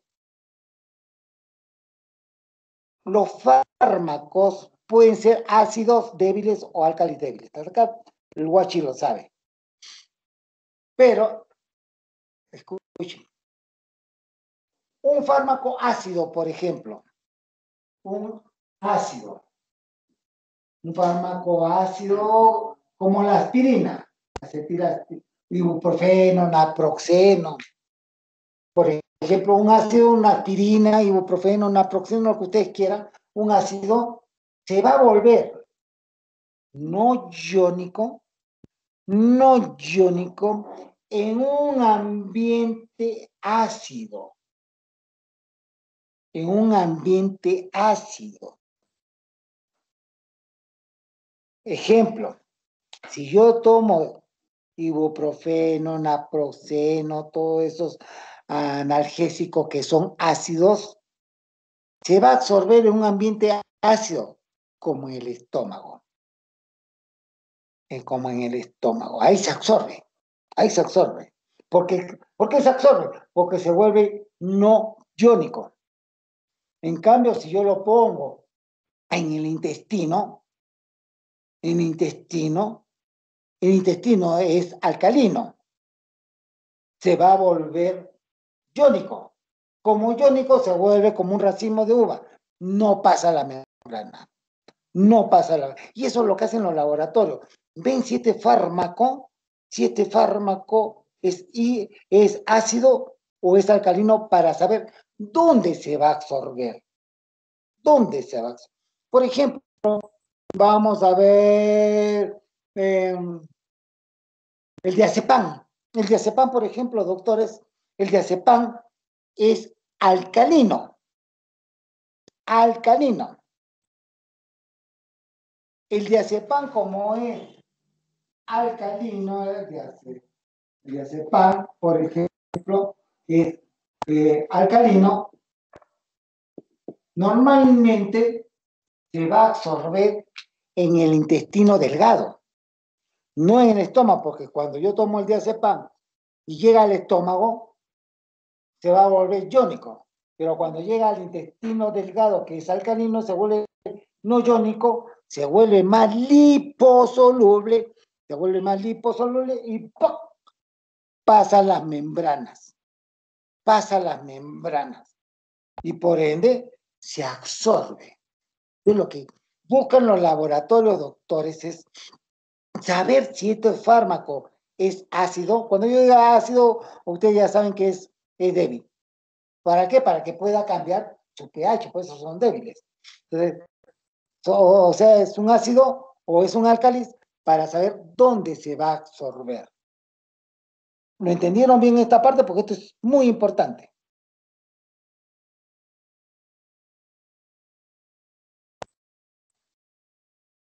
¿Lo entendieron?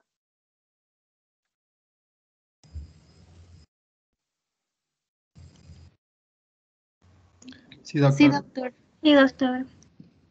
Ustedes están con sueño, yo estoy trabajando desde las 4 de la mañana y ustedes están durmiendo, doctor. Seguro que están con piama. Seguro. Sí, ya me imagino, ya. Entonces, esto es importante saberlo, doctores. Todos los fármacos pueden ser ácidos débiles, álcalis débiles, para poder ser absorbidos.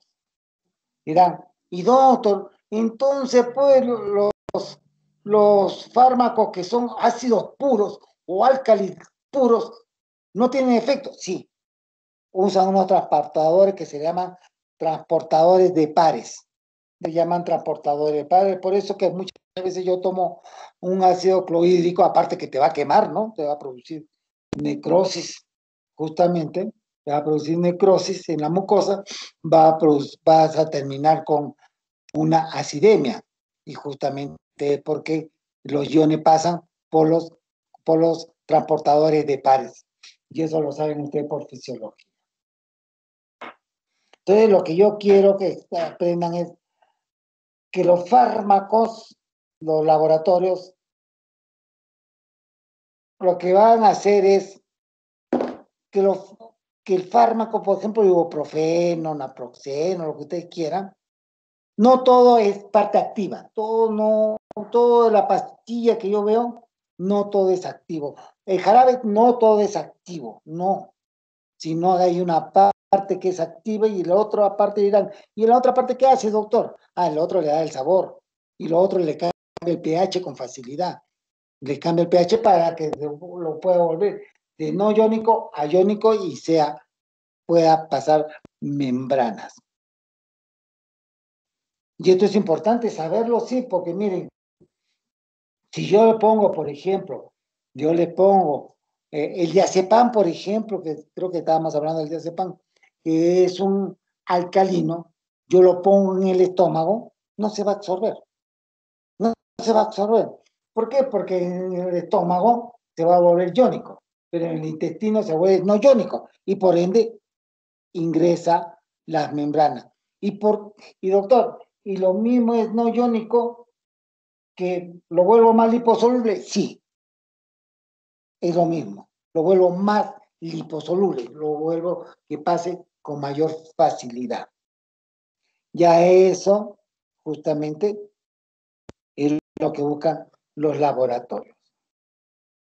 Como ven antes, los fármacos era, había muchas formas como hacer fármacos, se, guardaba bajo siete llaves, ¿no? Como ustedes van viendo ahí, por ejemplo, una receta de qué, de qué habrá sido esta receta del año 1500, eran fármacos.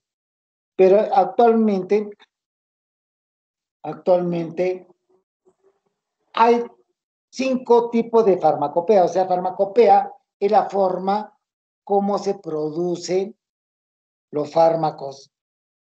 Imagínense ustedes, imagínense ustedes y pónganse con alguien, por ejemplo, de, de la China en estos momentos. Ustedes, nosotros, nuestros alimentos son más ricos en hidrato de carbono. Como es más rico en hidrato de carbono, te quiere decir que es más lento. Es más lento el peristaltismo. En cambio, un chino, por ejemplo, su dieta es mucho más rica, por ejemplo, en verduras. Su peristaltismo es mucho más, más, este, más rápido. Quiere decir que las tabletas que usan los chinos, como es mucho más rápido, se disgrega con mayor facilidad. En cambio, nuestras tabletas tienen que ser un poquito más duro porque justamente el peristaltismo es lento. Ahora entiendo por qué a veces fármacos que nos traen de otro sitio no tienen el mismo efecto farmacológico.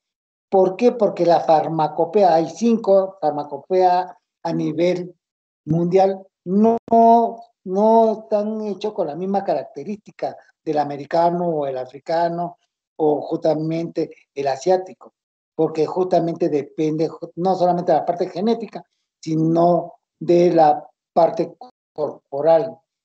Ahora ya entienden por qué hay muchos fármacos que nos traen de otro, de, de otro continente, muchas veces no tienen el, el, efecto farmacológico deseado en su paciente. Muy difícil, muy diferente.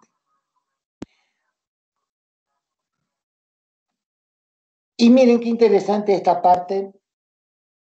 Por ejemplo, todos los pH no son iguales. No todos los pH son, no son iguales.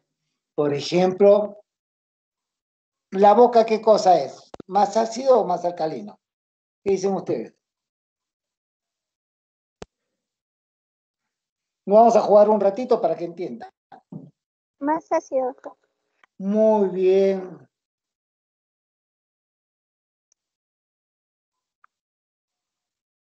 Mira, mire doctora.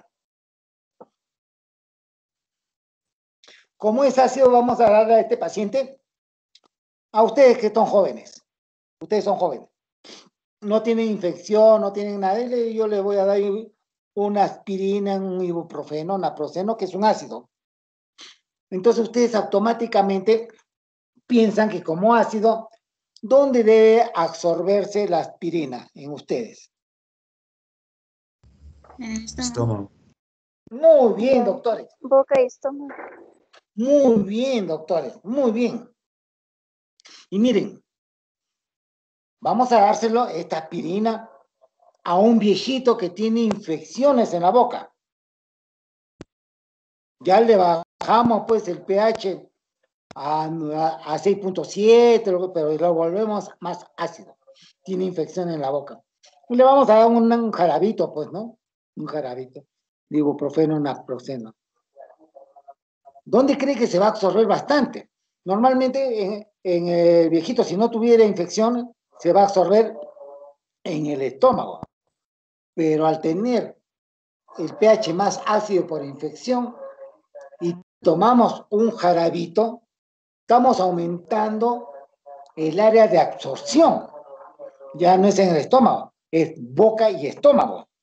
Entonces, muchas veces cometemos errores, le damos el jarabito y los viejitos se infectan, se perdón, se intoxican.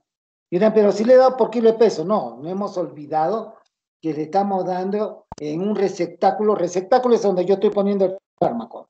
En un receptáculo, normalmente, desde la boca hasta el estómago, ahí se está absorbiendo. Se está, entonces hemos aumentado el área de absorción. Por ejemplo, por ejemplo, la leche. ¿Qué, qué, qué creen? Porque siempre me preguntan sobre la leche, por ejemplo. ¿La leche qué cosa es? ¿Ácido o alcalino?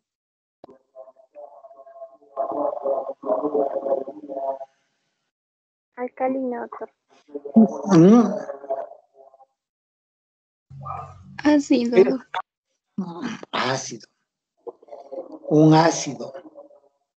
Miren, siempre me, va, van a preguntar,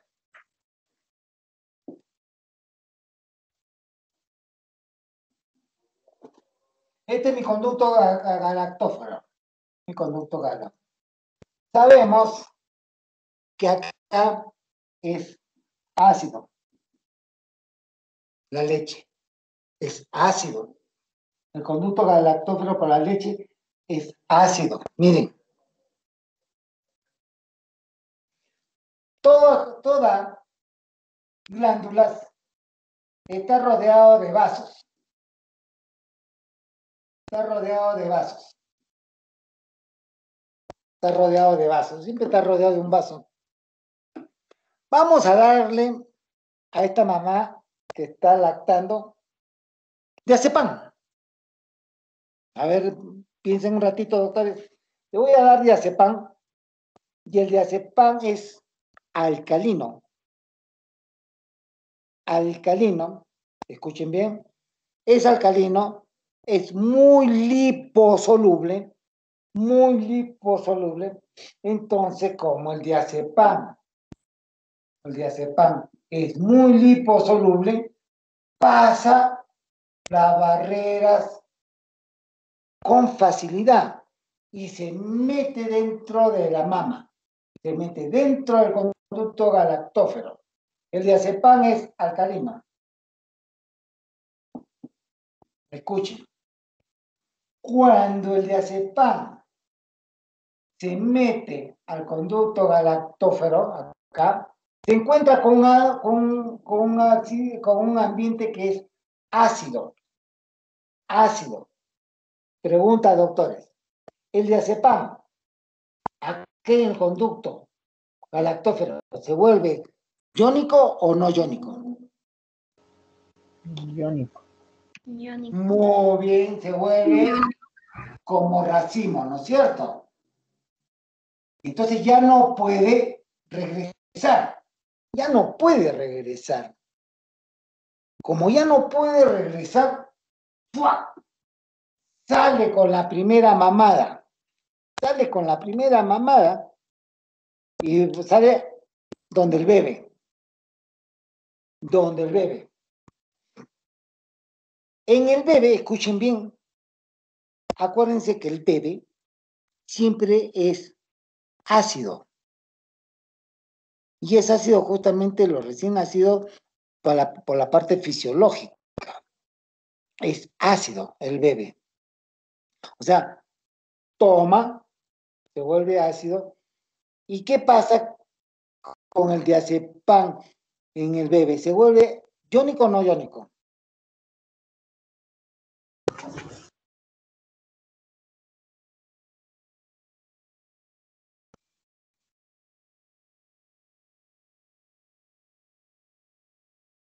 se vuelve iónico. Y entonces queda como una trampa en el bebé. Queda como una trampa, o sea, La mamá cuando toma diazepam se puede dormir seis, seis horas, por eso que el niño cuando toma diazepam por la leche se puede dormir hasta 36 horas. Dirán, ¿pero por qué? Ah, no, porque quedó jónico y se quedó en su cerebrito justamente como una trampa.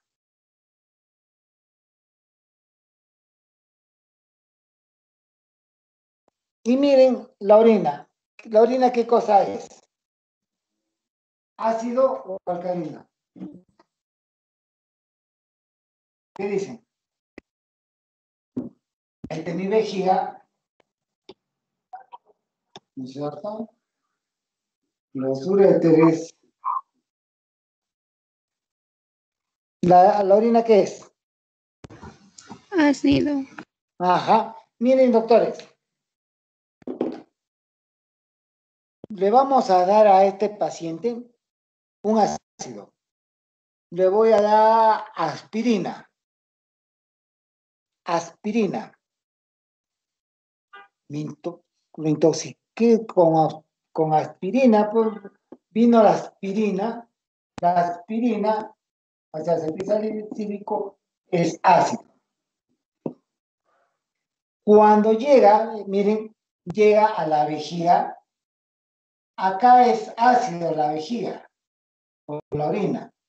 Gracias más la aspirina, que es ácido, se vuelve iónico o no iónico. No iónico. No iónico. Muy bien.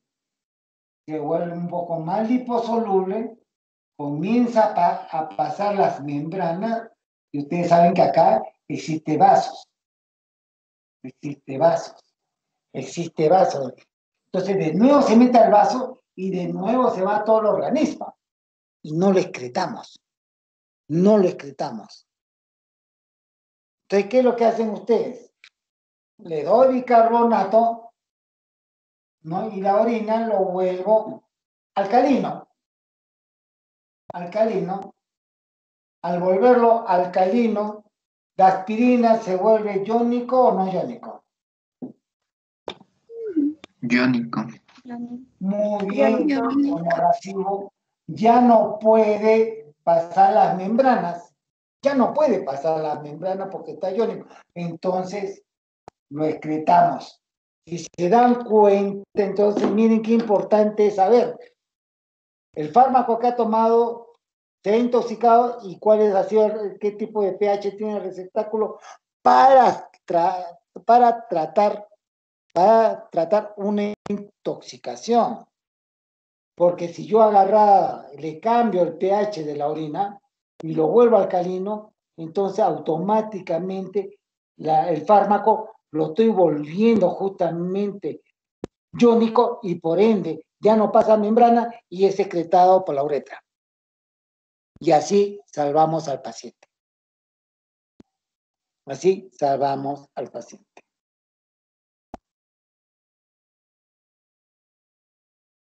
Y así podemos estar jugando todo el día, doctores.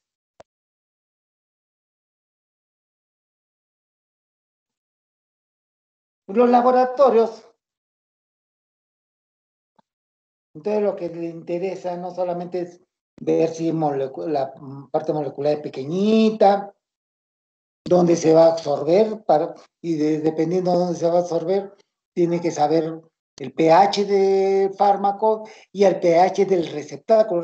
Cuando yo hablo de receptáculo, quiere decir donde yo estoy poniendo el fármaco. ¿Estamos bien? ¿En qué sitio estoy poniendo el fármaco? Porque si se dan cuenta, todos los organismos, todos los organismos no son iguales. ¿Qué más les interesa a los laboratorios? Después que sabe todo esto, si es hidrosoluble, es liposoluble, si es ácido o es alcalino, ya comienza con las etapas justamente de experimento. Y si ustedes ven, la primera etapa es, es donde se da justamente en los animalitos, por eso es experimental. Se le da y se, y se ve la vía, la mejor vía, la mejor vía por, sobre, eh, se da por, cómo se, ver cómo se excreta, cómo se transforma, y buscar una dosis efectiva. ¿Cuál es la dosis efectiva al animalito para proyectarlo en el humano? En la primera etapa, si usted ve un número, quiere decir que de mil pasa uno nada más. De mil pasa uno nomás. ¿Por qué? Porque ha habido efecto teratogénico, tiene efecto de mortalidad, entonces.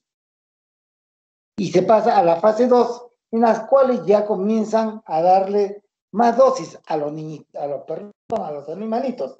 Pero ahí ya los intoxicamos. Los intoxicamos para ver justamente cuál es la dosis de mortalidad. Es el único sitio que se sabe del efecto de mortalidad. En humano no se sabe muy poco eh, cuál es la dosis de mortalidad. Mortalidad es cuando lo matan, pero sí sabemos los efectos de toxicidad. Entonces, se le intoxica ya sea en forma aguda, subaguda, como a usted le gusta. No solamente es eso, sino se ve los fármacos, qué efectos colaterales pueden tener, ¿no? Por especie y por todas las especies no son iguales. Por ejemplo, yo les doy morfina a ustedes y la morfina es un himno analgésico, les da sueño. Pero si yo les doy a un caballo, el caballo se va a excitar. Antes, en 1900, por ejemplo, cuando habían los primeros eh, hipódromos, la historia cuenta que les inyectaban pues morfina a los caballos y estos caballos salían excitados y ganaban la carrera, pero no sabían el por qué, porque justamente hay efectos colaterales dependiendo de las especies. Por ejemplo, yo les doy corticoides a ustedes, van a tener, por ejemplo, van a tener retención hídrica, alteración de, conducta, ¿no? Hiperglicemia, pero yo les doy a un chanchito y los chanchos salen con mayor eh, labio leporino son diferentes, se dan cuenta, eso, eso hace en laboratorio. Entonces, siempre se busca también los efectos cancerígenos, se comienza a aumentar la dosis, porque todos todo, todo no van a ser cáncer solamente que puede. Y, de, ¿te acuerdas que pasaba uno de mil? Acá pasa uno de doscientos. Y esos son costos. Son costos. Ahora tú entiendes por qué, por ejemplo, supongamos una ampicilina, pongámosle un nombre, ¿no? Un nuevo fármaco, sus costos son muchos mayores, muchos mayores. Dirán, pero ¿por qué cuesta tanto? No, porque normalmente hay, hay este, eh, leyes que hacen por cinco años, eh, cada gobierno, depende de cuánto tiempo es, por cinco años los protege para que, para que recuperen los costos de, de justamente de estas etapas de laboratorio que han hecho. ¿no? Lógico, depende del Estado, porque acá, por desgracia, doctores, sale el primer fármaco y al año sale la copia mucho más barato porque no los protege. No los protege.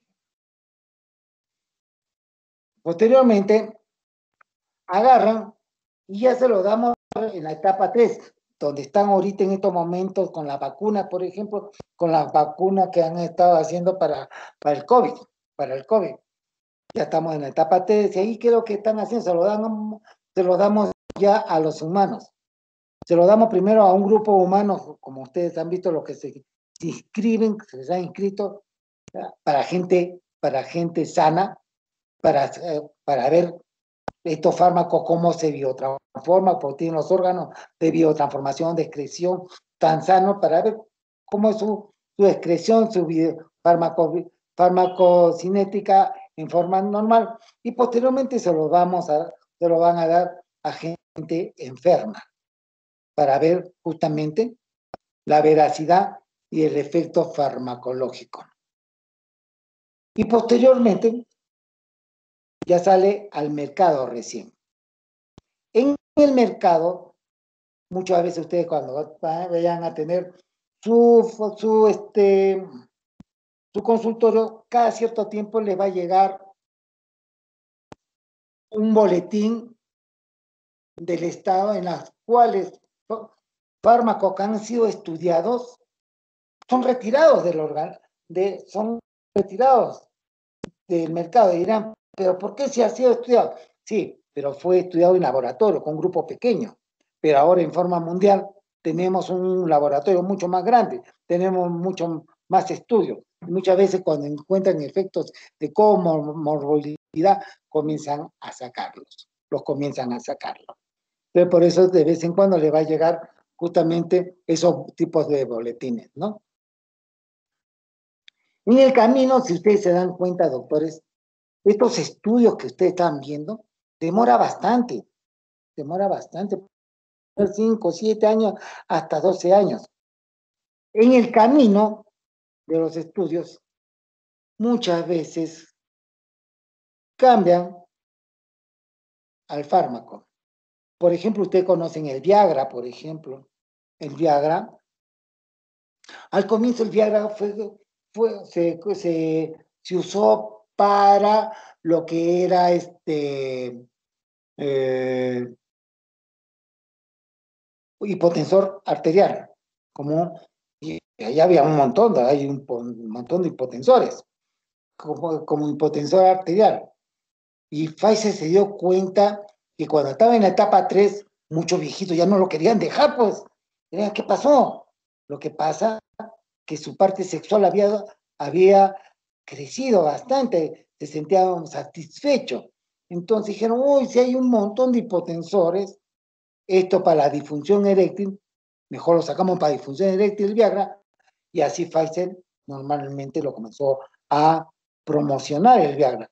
Lógico que acá en el Perú al año nomás salió el Bamba, más barato, porque normalmente iba a costar, costaba 23 dólares, y el Bamba el Bamba, o sea, no el Bamba, el mismo efecto, el mismo efecto tenía, pero no hicieron todos los estudios, costaba pues un dólar. Entonces esa es la diferencia, no estaba protegido.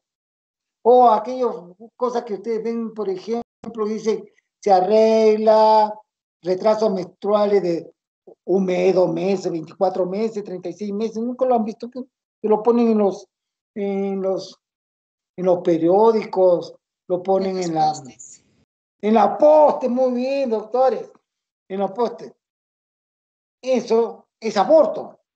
Y miren qué interesante. Había una, una, el misoprostol, que era una, venden, es lo que produce esto, era este fármaco que se usó para la gastritis. ¿Por qué? Porque estimulaba la prostaglandina este, gástrica, entonces era un protector gástrico, era un protector gástrico, pero cuando comenzaron a dárselo a los animalitos, especialmente a los que estaban gestantes, vieron que el monstruo lo perdían con facilidad, lo perdían. Dijeron, oh, si hay un montón de fármacos para la gastritis, ¿por qué no este fármaco nuevo lo usamos para aborto? Y así nació el misoprostol. Y así han nacido un montón de fármacos en el camino.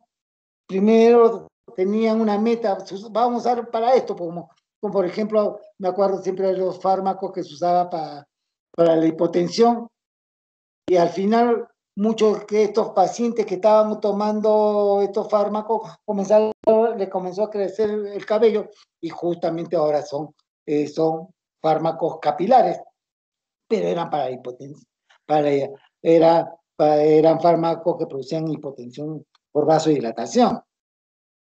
Entonces, en el camino va variando muchas veces. Donde se hace bastante grandes pasos en la farmacología, en las guerras, por desgracia.